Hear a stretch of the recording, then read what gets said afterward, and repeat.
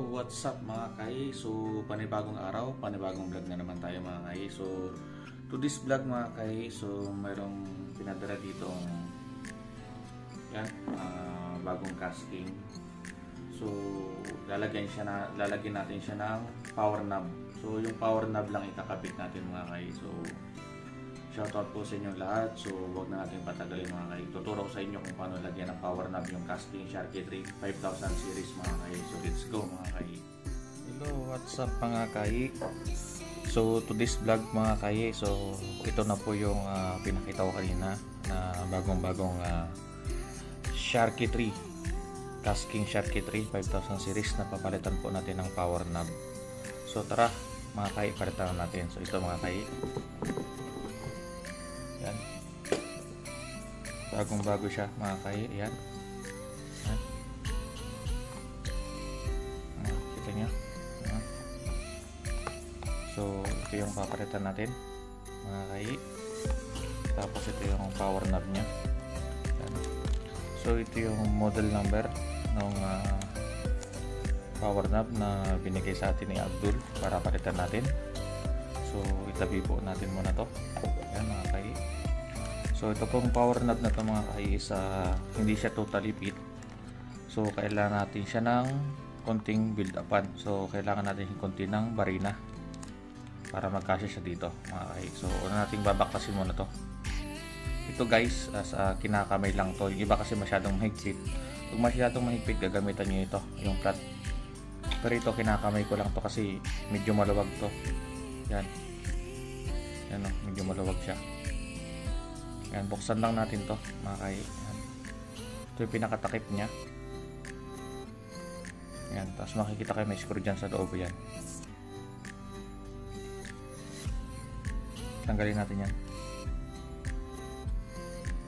Gumamit ako ng T-spin mga kai. Tapos may bearing yan sa loob mga kai.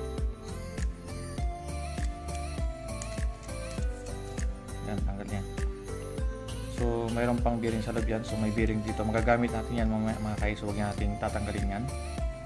So, set aside lang natin. Gawa natin yung bearing.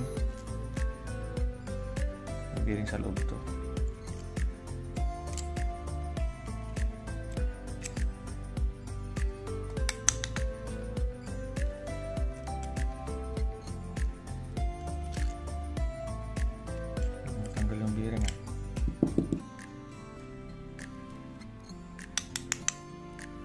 Bearing na yun sa loob mga kayo. May bearing siya.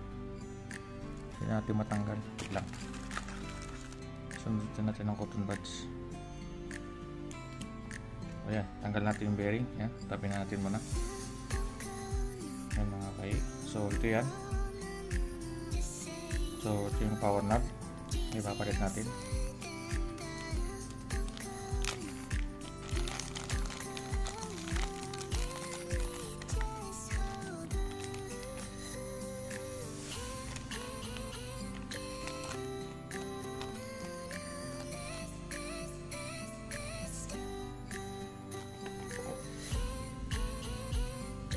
Sumuot pala yung plastic hinahanap yan, magagamit natin yan. So itong plastic ito mga kaya ilagay natin dito. Para hindi mawala. Kasi na yan. Yan. So dalawa. Depende sa power na mga kaya. Kasi itong binigay sa akin is hindi siya fitted. Yan. So buksan natin to. Kinakamay lang din to. So kapag medyo mahigpit yan medyo maluwag naman. So kaya. So mga ganitong klaseng power knob guys kung hindi kayo familiar, tanggalin nyo lang to.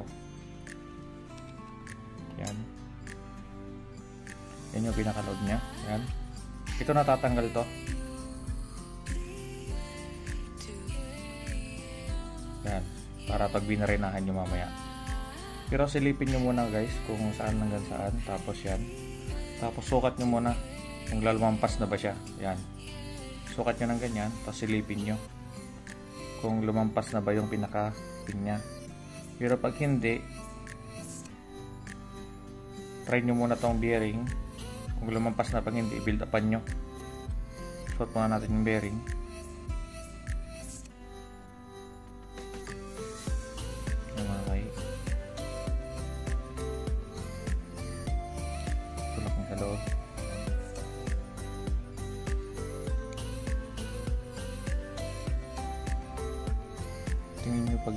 Siya umabot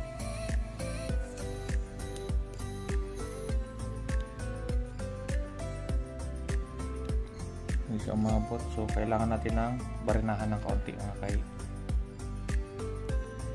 So yan may barina tayo dito mga kai. So ito yung barina.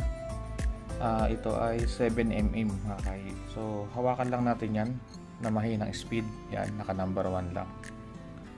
Hawakan mo lang yan Iwa iwasan nyo lang tumatamaan yung thread. Dahan-dahanin nyo lang yan. Ganito lang yan.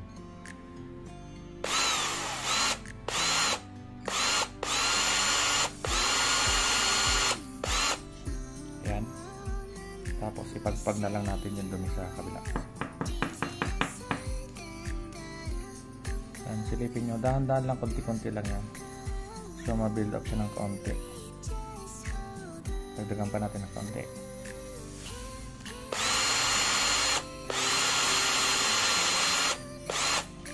yan okay na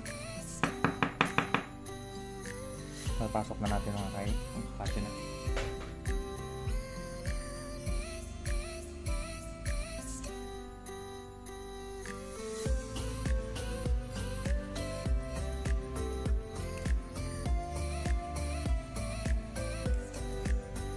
Yan na magkasya na. Silipin natin ulit. Ko okay na siya eh.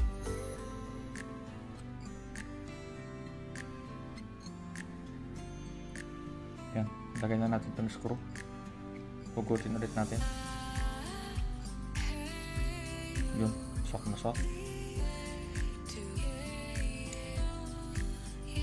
Yun. Tapos kumuha tayo ng mahabang ganito. Spin.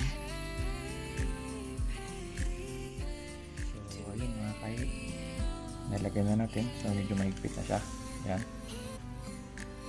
Yan, medyo mahigpit na. So, ipapasok na natin ito mga. Yan. Yan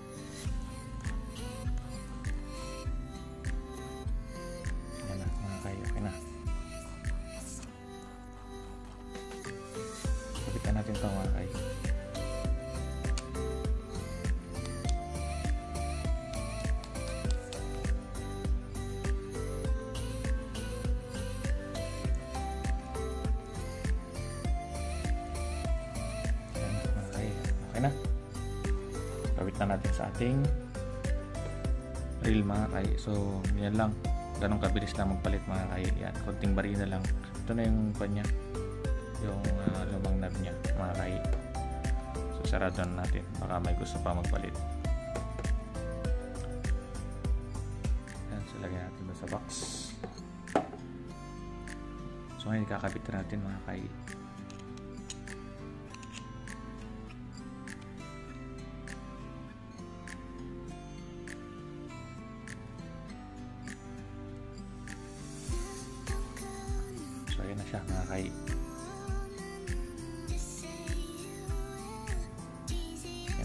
Pinaka-power knob niya.